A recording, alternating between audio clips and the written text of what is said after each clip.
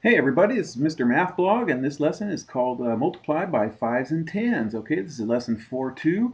All your lessons can be found at www.mrmathblog.com and you'll find uh, 4th grade, you'll find lots of high school stuff there. I teach high school in Sacramento right here. So our Common Core strand, uh, there it is for our teachers and our essential question is uh, we're going to show you how many, uh, show you different ways to multiply by 5s and 10s. Okay, so let's try a problem here. Lampel uh, plans to read five books in a month. After six months, uh, five books a month. So after six months, how many books will this be? Okay, so how many months is this asking for? Okay, it's asking for a total of six months right here. And then uh, how many books will she read each month? She's going to read five books a month. So it's five books right there, okay?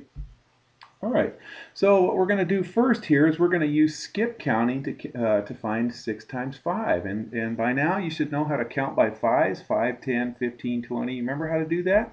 Okay, so we're going to skip count by 5s and we're going to do it 6 times. So here's the first one. I already gave that one for you here, so I'm just going to go count by 5. So 5, and then this is going to make 6 numbers here. Counting this first one right here is 5. So 5, 5 times 2 is 10. 15, 20, 25, 30. So there's 6 uh, times 5 right there. Okay, so 6 times 5 is going to be 30.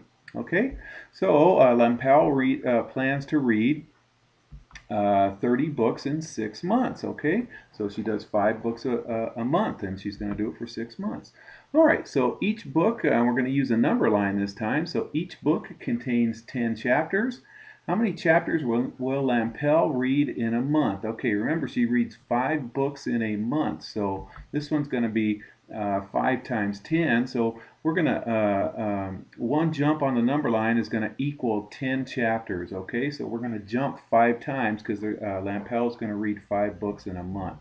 Okay, so here's, uh, oh, and then we're going to uh, draw the 5 jumps of the for the 5 books, and then 10 of the spaces at a time are going to represent the number of chapters right here. Okay, so here's a one jump. So there's a, a one chapter. Okay, remember she does uh, uh, five books, and she, uh, not one chapter. That's ten chapters right there. So there's ten chapters, and that's one book right there. And she's going to do five of these. So let's do another one. So there's another book. So two jumps, three jumps, four jumps. So we're just jumping this on the number line by 10 because it's 10 uh, chapters in a book. So we're counting by tens, you guys.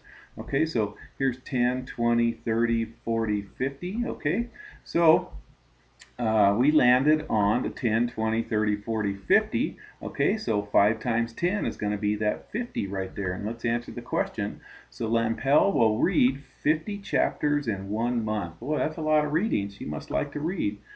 Okay, so the numbers 10, 20, 30, 40, and 50 are all multiples of 10. Okay, and a multiple uh, of 10 is any product that has 10 as one of its factors. Here's 10 times 1.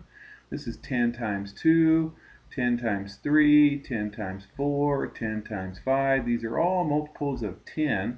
And so what do you notice about all the multiples of 10? And I kind of gave you a hint on this slide right here. I highlighted them in, in purple. Okay, see how all the multiples of 10 end in 0? Okay, so if a number ends in 0, it is also a multiple of 10. All multiples of 10 end in a 0 right there.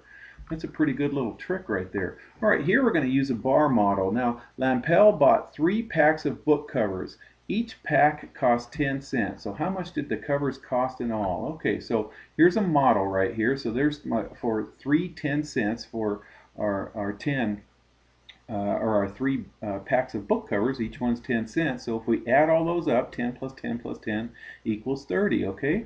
So let's think about this. So uh, one unit is 10 cents, so three units would just be 3 times 10. we already know 3 times 10 because we just added them up right here is 30, so this is going to be 30 cents. So let's go ahead and, and record this. So 3 times 10 is going to equal 30 cents. So let's answer the question. Uh, so the packs of book covers will cost 30 cents in all. Okay, nice quick lesson. I hope you guys are doing great. Take care.